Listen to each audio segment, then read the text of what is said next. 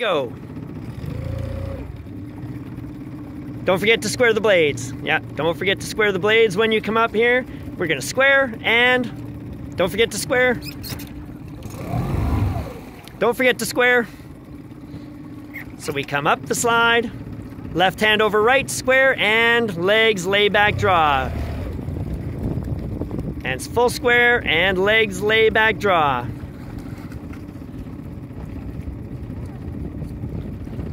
And make sure we don't over feather. Make sure we don't over feather.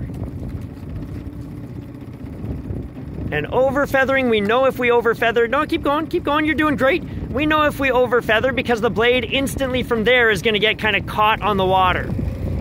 It's going to get almost sucked back down into the water from the bow side. So we don't want. See how that guy kind of caught?